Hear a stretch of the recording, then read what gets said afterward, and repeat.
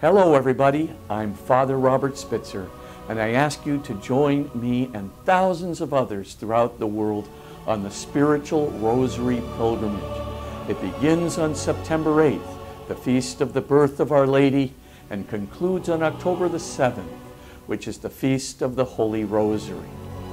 It's free to join, so enroll now at www.parousiamedia.com. That's www.parousiamedia.com.